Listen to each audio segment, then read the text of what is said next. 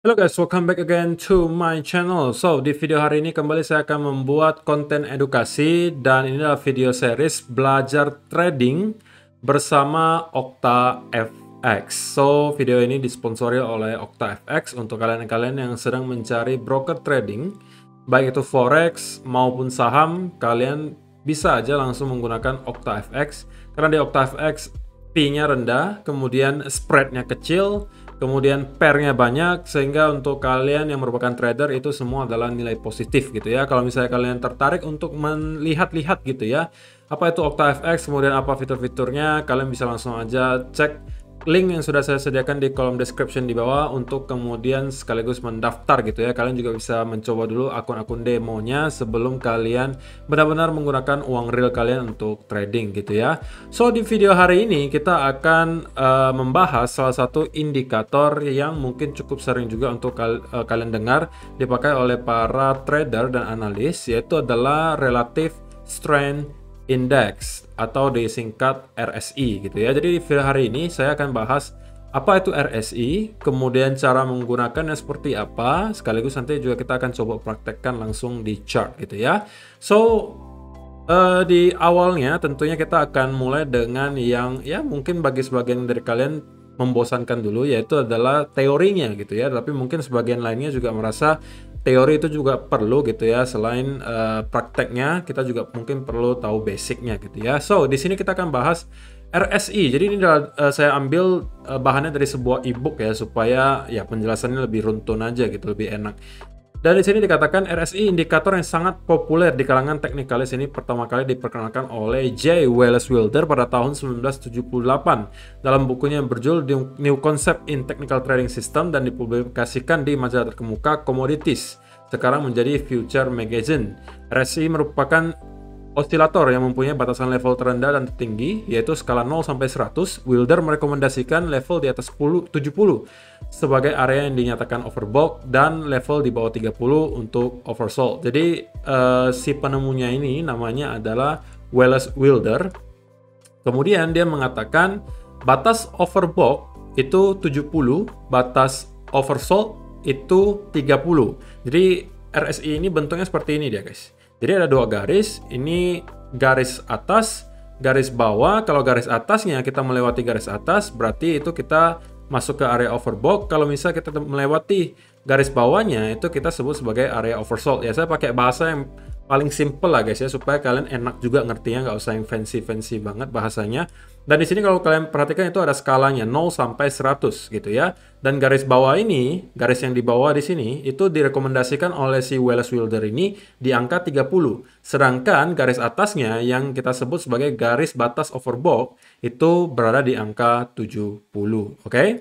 Periode RSI yang dijadikan standar Wilder adalah 14 hari, namun periode tersebut dapat diganti menjadi yang lebih dekat agar lebih sensitif ataupun tujuan short term trading misalnya ke periode 12, 10, 9, 8, dan sebagainya. Jadi ini juga kalian bisa atur gitu guys. Kayak misalnya moving average kan kalian bisa ngatur juga tuh mau uh, per berapa hari misalnya MA-nya kalian mau MA 50 berarti kan moving average 50 hari gitu ya rata-rata pergerakan 50 hari. Kalau MA 100 berarti ya pergerakan rata-rata 10 100 hari gitu kan. Nah, kalau di RSI juga bisa di, diatur gitu. Kalian mau periodenya 14 hari, maunya 20 hari, 50 hari atau misalnya uh, mau lebih cepat ya mungkin 10, 9 atau 8. Nah, perbedaannya apa? Kalau misalnya kalian setting lebih kecil angkanya, misalnya kan di sini yang direkomendasikan kan 14 gitu, guys.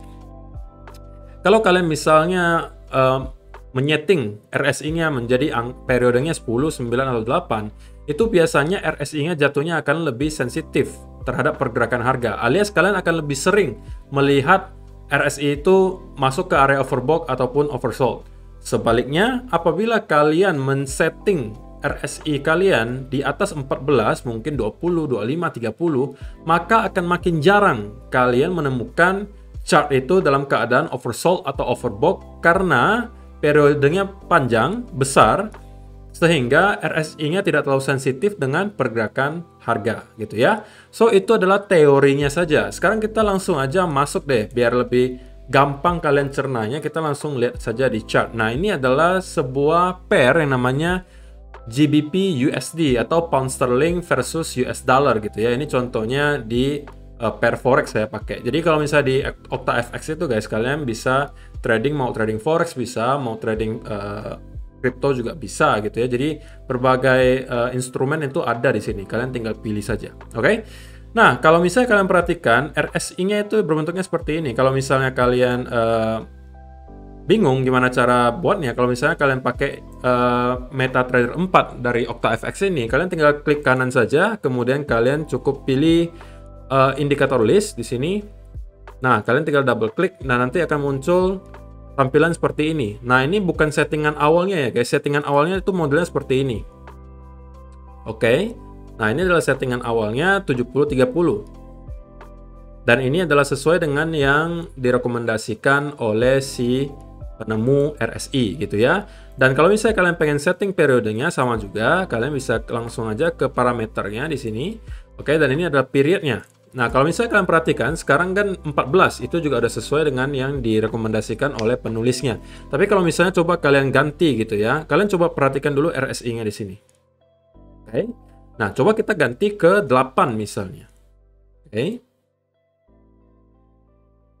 Nah, maka yang terjadi adalah seperti yang tadi saya sampaikan, apabila kalian membuat periodenya lebih kecil, yang terjadi RSI-nya itu makin sensitif terhadap pergerakan harga sehingga kita akan lebih sering mendapati area overbought maupun oversold. Dikatakan overbought itu kapan? Ketika kita sudah melewati garis 70 di sini, ini adalah skalanya 0 sampai 100.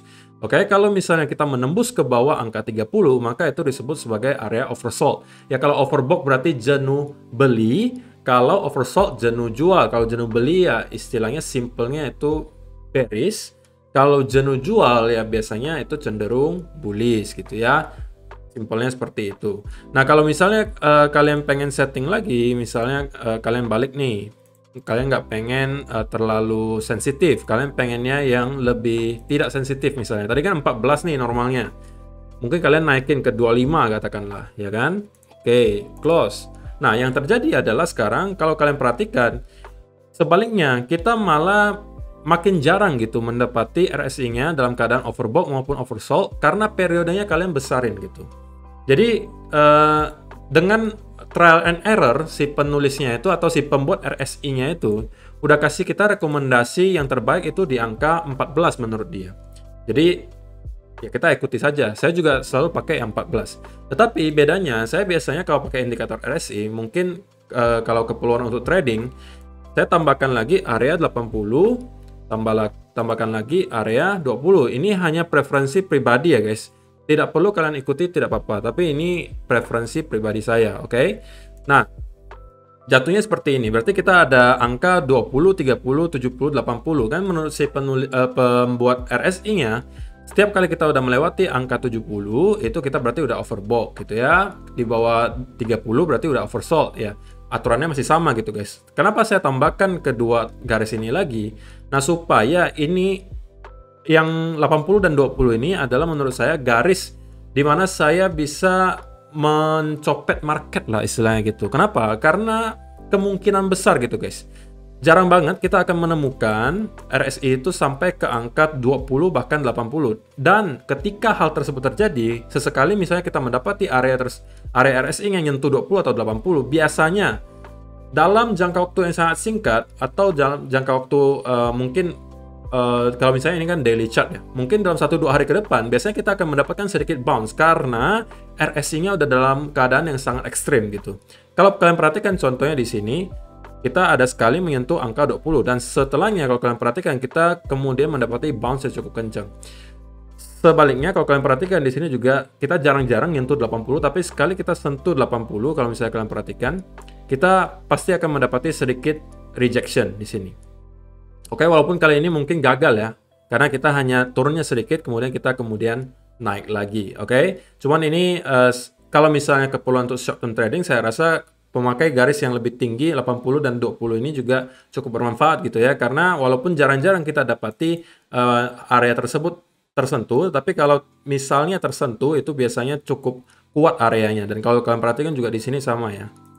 Nah ini, ini areanya udah oversold sampai bahkan 20. Dan setelahnya kalau kalian perhatikan itu kita mendapati bounce yang lumayan. Di sini juga sama kalau kalian perhatikan. Oke, okay, kita mendapatkan bounce yang lumayan. Di sini juga sama. Oke. Okay. Ini kita mendapatkan bounce yang lumayan. Dan ini hanya untuk keperluan scalping gitu guys ya, bukan untuk swing trade, bukan untuk long term trading, tapi untuk scalping, copet-copet doang gitu. Nah, kalau misalnya kalian uh, pengen yang seperti itu, mungkin kalian bisa tambahkan garis 80 dan 20. Tapi tetap untuk yang normalnya kalian harus butuhkan yang 70 dan 30 juga. Karena yang 80 dan 20 ini hanya sesekali saja akan kalian dapati gitu ya. Dan seperti biasa guys, kalau misalnya indikator-indikator seperti ini akan semakin akurat apabila kalian menggunakan time frame yang lebih besar. Menurut saya minimal mungkin di 4 hour chart atau daily chart gitu ya. Nah, kalau misalnya kalian perhatikan penggunaan RSI-nya itu secara simpelnya adalah apabila kita mendapati gitu ya bahwa RSI itu udah di atas area 70 itu berarti udah area overbought dan secara teori kita akan mencari uh, setup untuk jual karena areanya sudah overbought. Sebaliknya kalau di bawah 30 maka kita akan mencari setup untuk beli. Kenapa? Karena kita udah jenuh jual gitu ya. Tapi pada kenyataannya menurut saya tidak sesimpel itu. Kalian tidak bisa serta-merta melihat RSI dalam keadaan overbought kemudian kalian sell Sebaliknya, kalian juga nggak bisa ngelihat ketika RSI udah keadaan oversold, kalian serta-merta langsung jual. Menurut saya sama aja semua indikator itu kalian jadikan saja sebagai sebuah indikasi, tetapi konfirmasinya kalian harus cari dari price action. Atau kalian harus cari alasan lain gitu yang mendukung teori kalian. Oke, kalau misalnya kalian hanya menggunakan RSI dalam keadaan overbought kemudian kalian langsung sell, maka kalian akan mendapati kebanyakan itu uh, fake signal istilahnya gitu ya. Atau kebanyakan kalian mungkin akan dalam keadaan loss. Jadi uh, menurut saya ini hanya kalian jadikan patokan saja. Yang lebih efektif menurut saya adalah kalau kalian hanya pengen lihat area oversold dan overbought-nya ini kalian mungkin bisa jadikan RSI itu sebagai alat untuk exit gitu ya. Ketika kalian misalnya nih anggapannya kalian buy di sini gitu kan nah ketika kalian lihat RSI-nya juga udah mulai ke arah overbought, nah mungkin kalian udah bisa start untuk memikirkan taking profit gitu ya.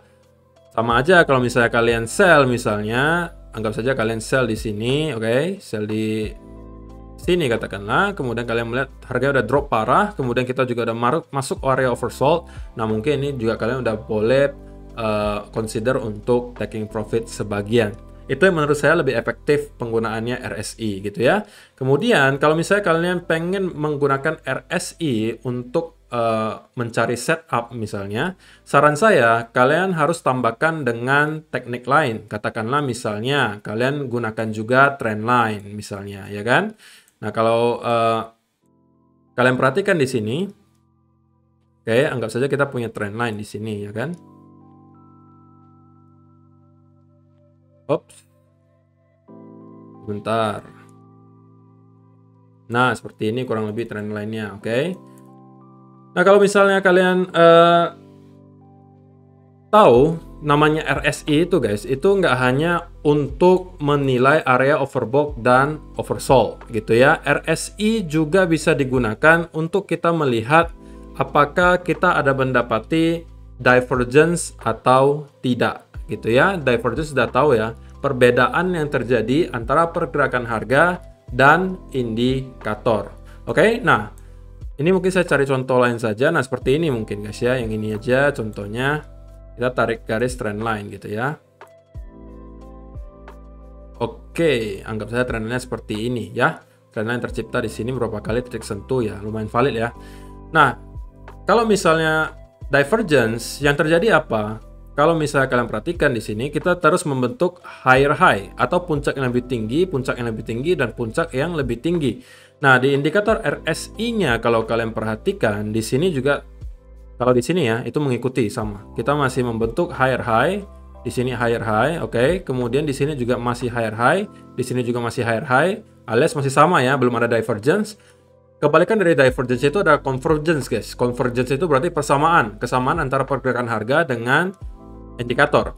Tetapi kalau misalnya kalian perhatikan yang setelahnya, kita kembali membuat higher high di sini, tetapi indikatornya tidak membuat higher high di sini, tapi membuat lower high. Nah, ini berarti sudah terjadi perbedaan gitu guys, atau kita sebut sebagai divergence. Nah, kalau misalnya harganya naik tetapi indikatornya turun, simpelnya adalah kita mendapati bearish divergence. Oke, okay? dan sekali lagi kenapa saya selalu pesan kalau misalnya kita mendapatkan divergence seperti ini, kalian tidak boleh langsung serta-merta masuk ke market. Kalian harus tunggu konfirmasinya. Berupa alasan-alasan lain, misalnya kalau di contoh yang ini kita pakai tambahan trend line misalnya. Nah, kalian baru boleh masuk ke trendnya ketika di mana? Ketika kita sudah break trend line-nya di sekitaran sini. Oke? Okay? Berarti kita, sekarang kita punya dua alasan kenapa kita boleh sell. Pertama, kita mendapati ada bearish divergence atau mungkin kalian katakan di sini juga ada indikasi double top, sekaligus di sini kita juga ada breakdown dari trend line-nya. Nah, dengan adanya beberapa indikasi ini, baru kalian mungkin boleh mengatakan, oh ini udah saatnya saya sell, karena sudah ada tiga alasan tadi. Pertama, double top. Kedua, kita breakout dari breakdown dari trend line. Ketiga, saya kita mendapatkan bearish divergence. Nah, kalau misalnya nih guys, kalian uh, ngeyel gitu ya, kalian uh, melihat misalnya nih ada divergence dan baru saja terjadi divergence tanpa ada konfirmasi kalian langsung masuk, yang terjadi adalah seperti ini gitu ya. Seperti ini. Ini anggap saja trend line-nya gitu ya. Nah, kalau misalnya kalau perhatikan, di sini kita membuat lower low, lower low, lower low gitu kan. Tapi indikatornya itu membuat apa? Higher low, higher low, higher low. Yang berarti terjadi apa guys? Terjadi bullish divergence. Tetapi apabila kalian melihat bullish divergence itu, kemudian kalian langsung masuk hanya karena ada bullish divergence tanpa menunggu konfirmasi dari price action berupa breakout dari trendline di sini, maka yang terjadi apa? Kalian akan loss. Oke? Okay? Karena tidak ada konfirmasi dari segi price action bahwa kita akan mendapati reversal. Nah, ini adalah contohnya gitu guys. Kenapa kalian harus tunggu konfirmasi terlebih dahulu sebelum kalian masuk ke sebuah trade. Oke. Okay? Nah, kita cari lagi contoh yang lainnya. Misalnya di mana nih guys? Coba kita cek lagi. Oke, nah di sini juga sama ya, sama. Ini adalah sebuah contoh yang juga menurut saya cukup menarik lah. Nah, di sini kalian perhatikan. Kita membuat higher high di sini kan, higher high higher high, higher high. Oke. Okay. Sedangkan di indikatornya kalau kau perhatikan di sini masih convergence ya guys, alias masih sama di sini. Tapi setelahnya kalau kalian perhatikan di sini kita membentuk higher high, tetapi di indikator itu udah nggak membentuk higher high, tapi kita udah membentuk lower high kalau kalian perhatikan. Oke, okay? ini lebih rendah ya dari sini ya. Oops. Nah ini guys, ini kita lebih rendah ya. Dan kalau misalnya kalian sell di sini, hanya karena kalian melihat sudah ada bearish divergence. Yang terjadi apa? Kalian akan loss. Kenapa? Karena kita membuat higher high baru. Dan kalian tidak menunggu konfirmasi berupa breakout dari trendline di breakdown dari trendline di sini. Tapi kalau kalian menunggu uh, dan lebih sabar, maka kalian baru akan masuk di sekitaran sini. Kenapa? Karena kalau kalian perhatikan, kita juga masih tetap membentuk lower high sedangkan harganya membentuk higher high gitu ya dan ini kita fix masih berada dalam keadaan bearish divergence. Oke. Okay? Dan kita mempunyai beberapa indikasi kalau di sini. Apa indikasinya? Pertama, kita mendapati bearish divergence.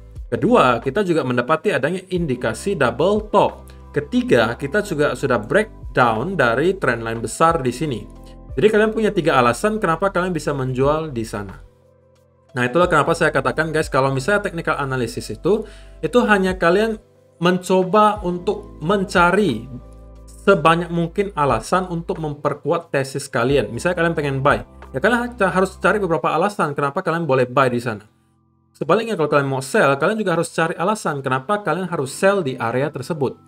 Oke, okay? kalian jangan serta-merta menggunakan satu indikator kemudian mengambil keputusan investasi atas dasar indikator tersebut. Oke, jadi contohnya udah jelas gitu ya guys ya. Sekali lagi, menurut saya kalau misalnya kalian hanya gunakan RSI ini untuk area oversold dan overbought, itu menurut saya hanya akan efektif kalau misalnya kalian gunakan untuk taking profit. Tapi kalau misalnya kalian pengen sell ataupun buy, hanya karena ngelihat RSI itu overbought ataupun oversold, menurut saya itu sedikit terlalu riskan gitu guys. Menurut saya kalian perlu juga tambahan informasi berupa uh, konfirmasi dari price action.